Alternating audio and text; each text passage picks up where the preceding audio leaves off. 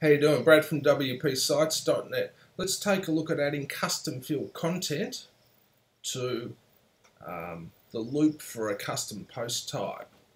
Now in one of my latest tutorials I've provided the code which enables you to add custom field content within the loop of a category archive page um, and in this case we're adding it to the demo category but how about if you want to add it to a custom post type?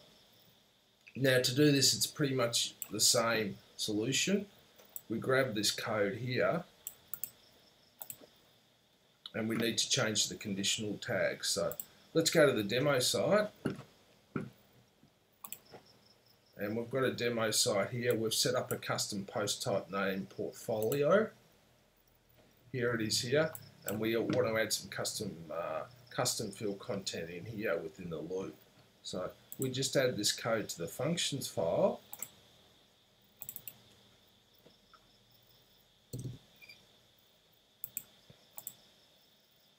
and we change the conditional tag. And this is the conditional tag, is post type archive. So we remove the conditional tag which targets the category uh, demo and we target the post type archive portfolio. So we just add that in there.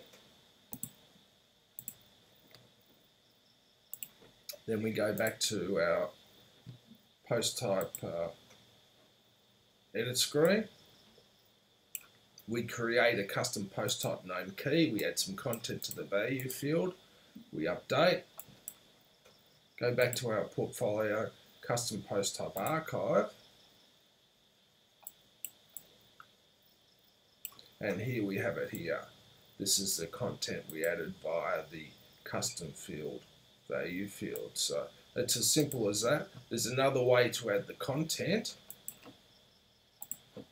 We can take the code and rather than add it in the functions file of your child theme, we can add it directly to the archive uh, template for the custom post type and here it is here. We've got a, a custom uh, post type archive page for portfolio, which is the name of our custom post type.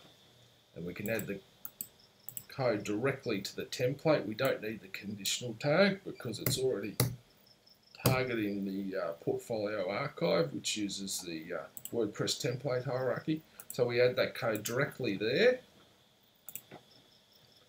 And we refresh just to test and here it is here it still displays.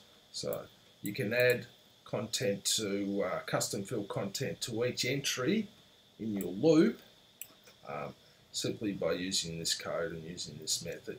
Now how about pagination? We look here and we have pagination.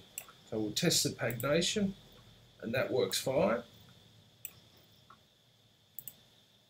Now let's just change the reading settings the reading settings to determine the pagination. So let's say five posts per page.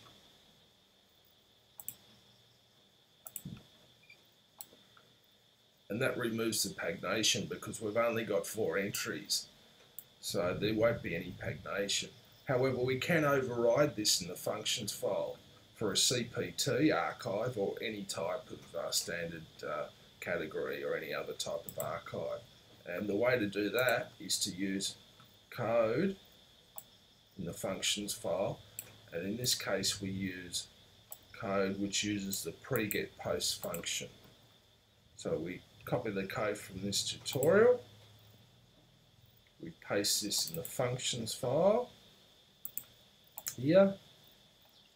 Um, the code includes a conditional tag to target the the post type archive portfolio.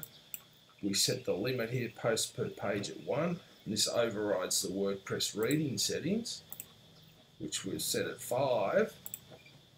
And we go back and test our portfolio archive. And here we've only got one uh, entry per page, so we have pagination now. So this will work, uh, the pre-get post code will work to override any portfolio type archive or any standard archive like a, uh, a category archive. So it's as simple as that.